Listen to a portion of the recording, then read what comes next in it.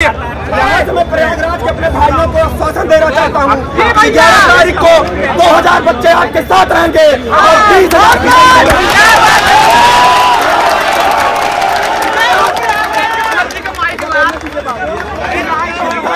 सरकार और आयोग दोनों को हम ग्यारह तारीख को बता देंगे कि तुम्हारी मंशा जो है उसको हम साबित नहीं होने देंगे। हम नॉर्मलाइजेशन के माध्यम से नॉर्मलाइजेशन के माध्यम से जो तुम तय करना चाहते हो कि हम अपने बच्चों को घुसाएँगे और दिल्ली मुखर्जी नगर के गरीब के किसान के बच्चों को तुम धांधली के द्वारा बाहर करना चाहते हो तुम्हारी मंशा को हम सही नहीं साबित होने देंगे। भारत माता की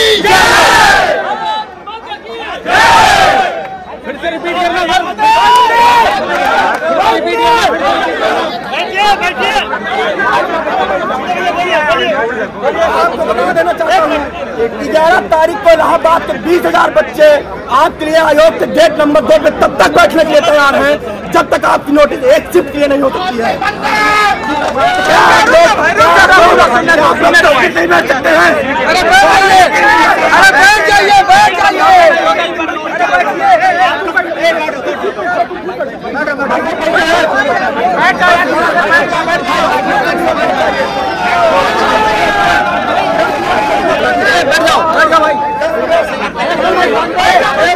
और दुनिया भर की चीज़ों में गए लेकिन ये धोखा ये धोखा हम लोगों को नहीं इस बार देने दे पाएँगे। इनको अपना नोटिफिकेशन वापस करना पड़ेगा। इन्होंने जो ये नोटिस दिया इसको वापस करना पड़ेगा। इसका रीजन सिर्फ़ एक है भाई दो शिफ्ट में पेपर नहीं चाहिए किसी कीमत पर नहीं चाहिए। बात ये है बात ये है कि भाई बहुत लोगों का कैरियर दांव पे लग जाएगा। बहुत सारे साथी का अंतिम चांस है। बहुत सारे साथियों का इस बार अंतिम मौका होगा। उनको दोबारा अगर गलती से वो छुट गए, दोबारा उनको नहीं मिलेगा। मैं आपको बताऊँ यूपीएसआई में छटा हुआ इंसान हूँ नॉर्मलाइजेशन की वजह से। यूपीएसआई की नॉर्मलाइजेशन का जो मार होता है ना, कोई समझ नहीं पाता। इस चीज़ को मान लीजिए, ये ऐसा तमाचा है ना, आपको सहना पड़ेगा। हर तमाचे का जवाब दिया जा सकता है, लेकिन इस तमाचे का जवाब नहीं दे पाएँगे आपको एक काम करना पड़ेगा सबको आना पड़ेगा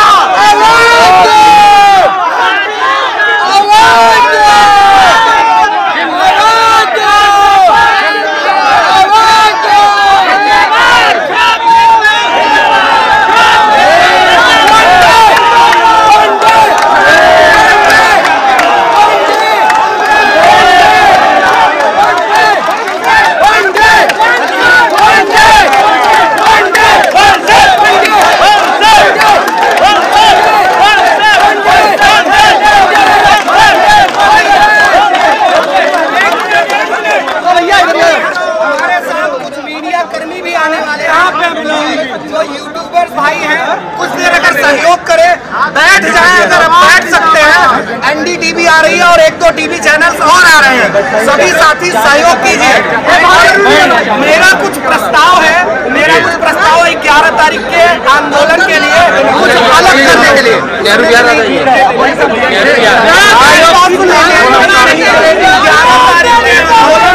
नहीं चलेगी नहीं चलेगी नहीं चलेगी आयोग के सामने जिस दिन हम लोग धरना करेंगे उस सब बातें ध्यान देंगे जो हमारी आपकी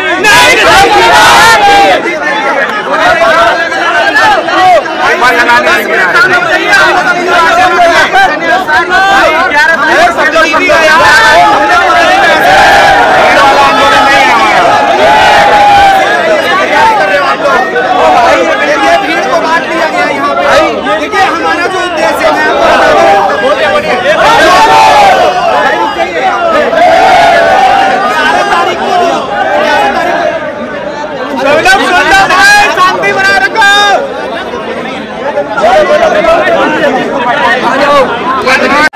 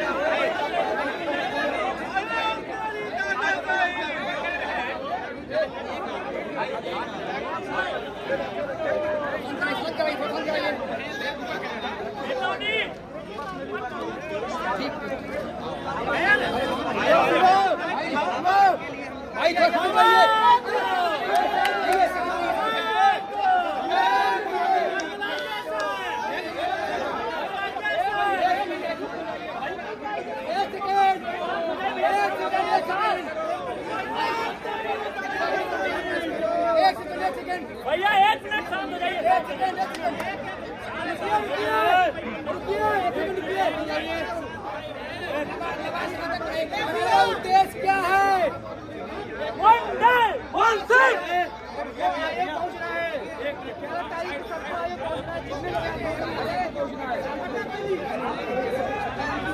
एक सेकंड रुक शांत हो जाइए सब शांत हो जाइए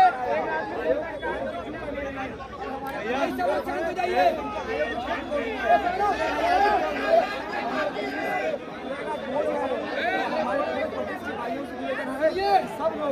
आयोग पहुँचे यहाँ तक ग्यारह बजे अच्छा आयोग